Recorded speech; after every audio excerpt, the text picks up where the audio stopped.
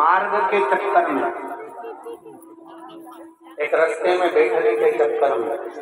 जरा विचार करिएगा। पितरों की तीन बेटियों को श्राप लग गया था और उनको पृथ्वी पर आना पड़ा।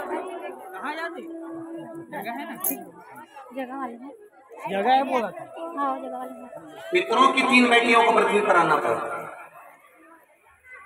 और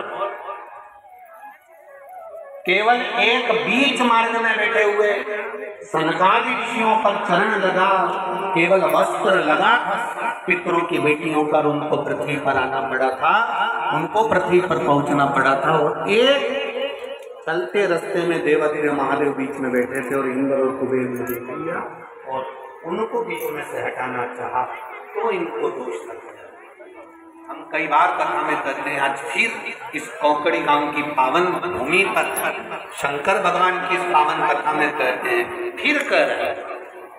जिसको लगे, ध्यान रखें इस बात का कितनी सुंदर बात कही है। पितरों की तीन बेटियों का केवल वस्त्र लगा था, केवल वस्त्र। सनक कुमार बैठ कर कथा सुन रहे थे, संघात ऋषि बैठकर तुमरुका जी के मुख से कथा का वाचन हो रहा था शिव पुराण का, और तीनों देवियाँ चलती चलती उनका कपड़ा केवल सनत कुमार संघात ऋषियों से छू गया था। इतने में तो सनत कुमारों ने कहा, हमारे प्रवचन सुनने में, कथा सुनने में तुमने विघ्न डाला है। बीच में से निकल कर जा रहे हो, किसी को तकलीफ़ दे रहे हो, वो दिल से कथा सुनने के लिए आया है। दिल से तीन घंटा कथा का तत्व ग्रहण करने आया है। उसके बीच में से बार बार निकल कर जा रहे हो तो ये तुमको दोष है, इसको तुम्हें भोगना पड़ेगा। भोग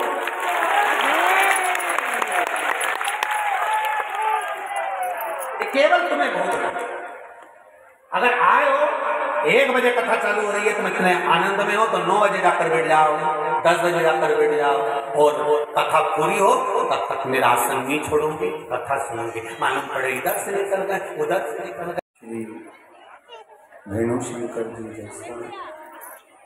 श्री कृष्ण कुमार जी जैसा श्री रमेश जी जैसा जायसवाल परिवार कंपनी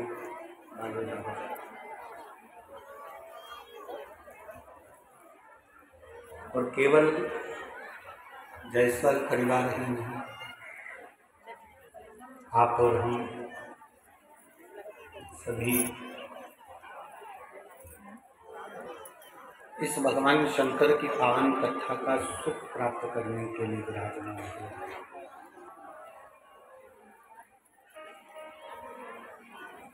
भगवान की भक्ति कठिनतम जीवन में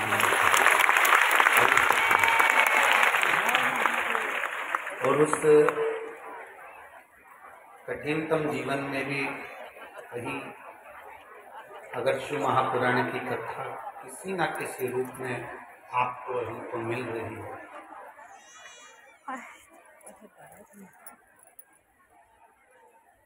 तो ये मान के चले कि कहीं ना कहीं शिव की कृपा आप और हम पर बनी है।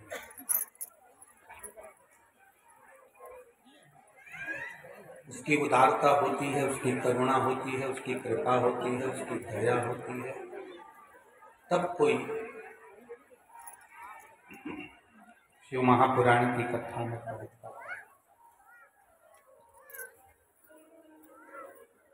दो कदम भी चलकर हम अगर भगवान के द्वार तक पहुँचे हैं, परमात्मा की चौखट तक पहुँचे हैं तो ये उसकी कृपा से